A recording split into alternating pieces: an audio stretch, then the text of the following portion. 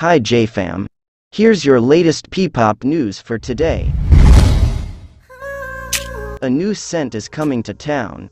In a tweet reveal for their first ever perfume collection, Sentimental, a perfume brand, cleverly gets A'TIN's attention, with their tweet's caption, and the silhouette photo of obviously SB19.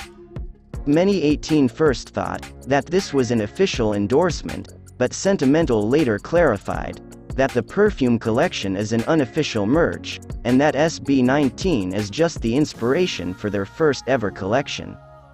They will be releasing the collection by the 10th of June. Another good news, Felip keeps on rising. He just very recently dropped his Bulan dance practice two days ago, and now it has already surpassed 100,000 views. His masterpiece Bulan music video has already surpassed 1.2 million views. Congratulations Felip. P-pop is rising. Join the fun, subscribe to the channel.